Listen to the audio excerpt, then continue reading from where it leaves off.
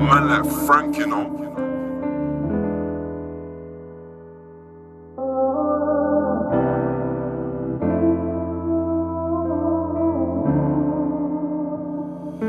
T4 Beats made this.